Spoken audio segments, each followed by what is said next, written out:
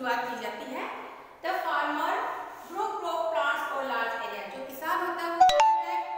वो वो सारे जो क्रॉप्स होती है प्लांट्स होते हैं, उनको ग्रो करता है फ़ील्ड के अंदर। एंड कुछ जो फार्मर्स होते हैं, जो छोटे किसान होते हैं, वो किसके द्वारा? खेत के अंदर अपना प्लगिंग करते हैं, वो बैल के द्वारा ऑक्सन के द्वारा अपना प्लगिंग करते हैं। खेत के द्वारा कुछ जो किसान होते हैं, वो ट्रैक्टर के माध्यम से भी खेत के अंदर जुताई कर सकते हैं, करते हैं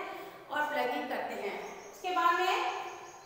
whereas big farmer has tractor for the some then and manner और उसके बाद में क्या करते हैं जो फार्मर होते हैं वो मैनर ऑफ़ फर्टिलाइज़र जो अपनी खेत की जो भूमि होती है, उसको उपजाऊ बनाने के लिए